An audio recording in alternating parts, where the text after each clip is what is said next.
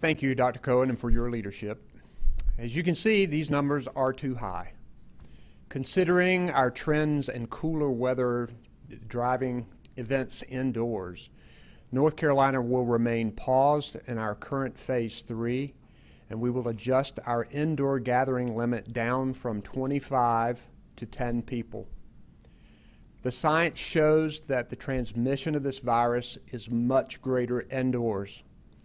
And the more people who are gathered, the easier this virus can spread. We saw increasing spread from social gatherings in October. This reduction in our indoor gathering limit aims to slow the spread and bring down our numbers.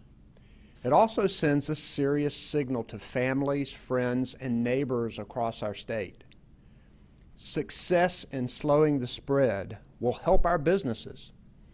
In addition, we've been providing some direct help, and this week there will be some additional assistance for restaurants.